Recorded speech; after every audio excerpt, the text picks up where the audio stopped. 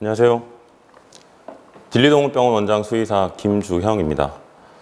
이번 시리즈 강의의 제목은 내가 가진 장비만으로 우리 병원 안과 매출 늘리기이고요. 그 첫 번째로 오늘은 각막 질환에 대해서 준비해 봤습니다. 많은 수의사분들이 비교적 진단이 정확하게 되는 단순한 각막궤양 그리고 녹내장 그 외에 안과 질환을 제외하면